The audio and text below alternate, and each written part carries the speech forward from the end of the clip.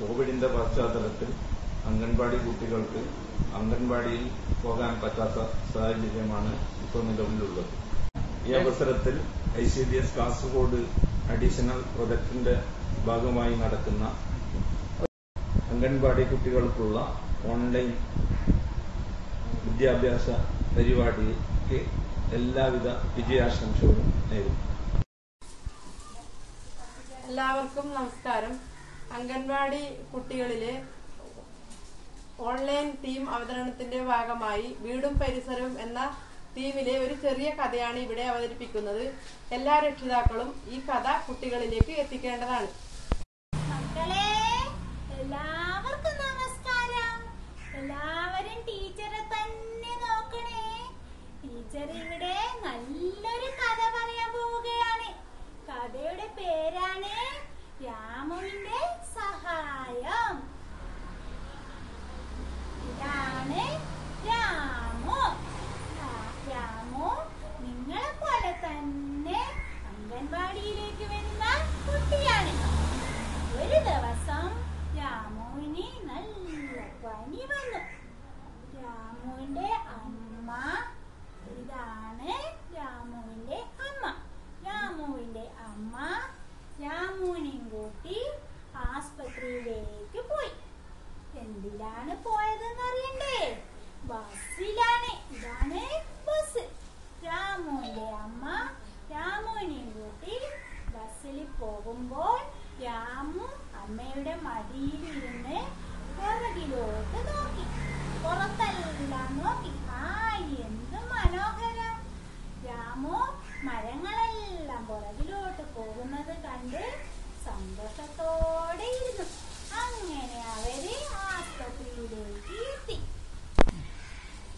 ഡോക്ടറെ കണ്ടു ആസ്പത്രിയിൽ ഉണ്ടായ ഡോക്ടറെ കണ്ടു നിങ്ങൾ ഡോക്ടർ സ്റ്റെതസ്കോപ്പ് എല്ലാം വെച്ച് രാമുവിനെ പരിശോധിച്ചു രാമുവിന് മരുന്നും ഗുളികയും നൽകി രാമുവിന്റെ അമ്മ രാമുവിനെ കൂട്ടി തിരിച്ച് ബസ് സ്റ്റോപ്പിലേക്ക് എത്തി ബസ് സ്റ്റോപ്പിൽ ബസ് കാത്തു നിൽക്കുമ്പോൾ അവിടെ ഒരു കീരി ഉടുപ്പിട്ട ഒരു കുട്ടി രാമുവിന്റെ അടുത്തേക്ക് വന്നു വയറ് തടവിക്കൊണ്ട് രാമുവിന്റെ അമ്മയെ നോക്കി.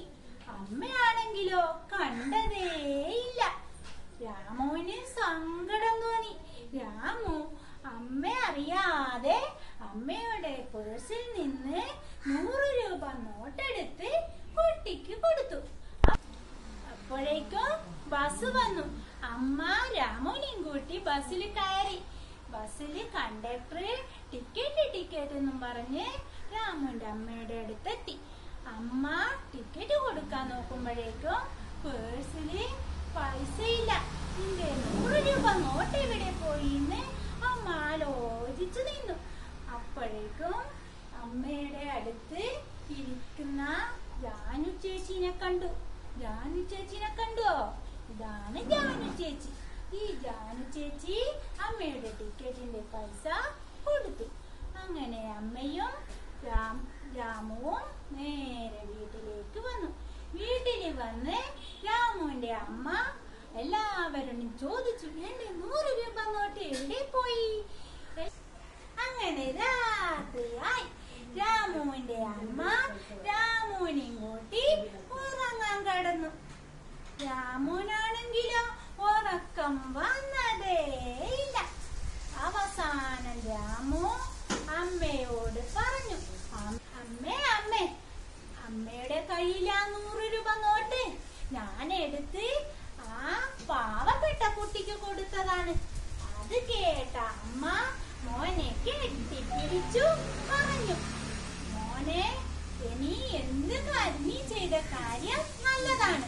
എന്നാലും എന്ത് ചെയ്യുമ്പോഴും അമ്മയോട് ചോദിക്കാതെ ചെയ്യാൻ പാടില്ല. മോനെ ഇനി നിങ്ങൾ എന്ത് ചെയ്യുന്നുണ്ടെങ്കിലും അച്ഛനോടോ അമ്മയോടോ ചോദിക്കാതെ ഒരു കാര്യവും ചെയ്യാൻ പാടില്ല. കഥ എല്ലാവർക്കും നിങ്ങൾ സഹായിക്കാറുണ്ടോ? ആരാണ് മോനെ ഇഷ്ടമായത്?